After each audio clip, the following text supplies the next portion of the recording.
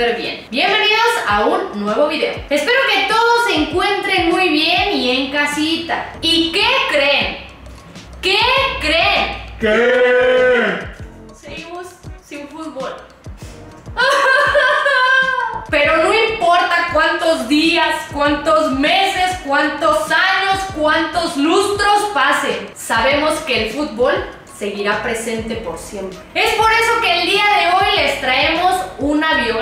Y es sobre un jugador que ha estado bastante sonado en estas semanas. Solo esperamos que todo mejore para él y su novia. Así es amigos, estamos hablando de Paulo Dybala. Paulo Bruno Ezequiel Dybala nació en Argentina el 15 de noviembre de 1993. Desde los 10 años inició su camino por el fútbol con el Instituto Córdoba, en donde varios entrenadores se dieron cuenta de sus cualidades. En el 2011 debutó como profesional con el Instituto Córdoba, apenas a sus 18 años. Al ser sin duda una de las figuras de la primera B y el mejor jugador de su equipo. Muchos clubes se interesaron por el argentino, pero fue el Palermo quien pagó 12 millones de euros. Esto fue en la temporada 2012-2013. Y escuchen esto, con tan solo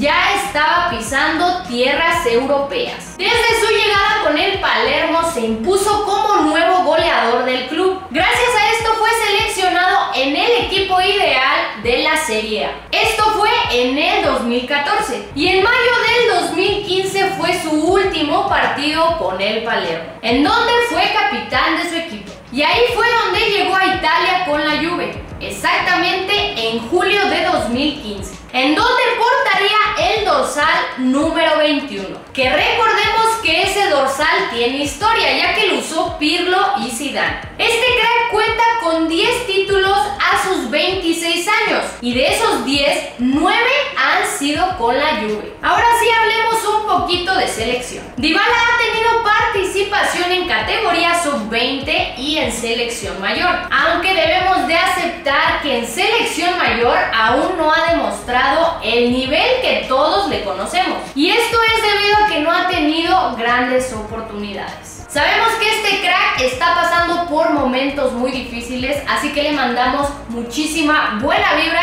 y que se recupere muy pronto. Y bueno, bros, aquí la biografía del día de hoy. Espero que les haya gustado muchísimo. No olviden dejar su poderoso like, también suscríbanse al canal y activen la campanita. Eso es muy importante para que sean de los primeros en ver nuestros videos. Cuídense mucho, lávense bien las manos, no sean cochinos. Bye bye.